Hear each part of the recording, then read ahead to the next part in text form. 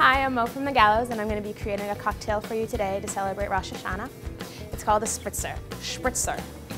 I can't say that word. It's called a spritzer.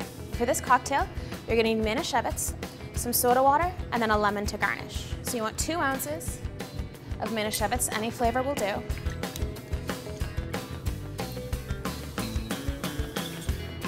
Pour it into a wine glass, fill with ice, and then just top it with soda water, just to lighten it up a little bit. Then to just brighten it up a little bit more, you're gonna do a lemon zest.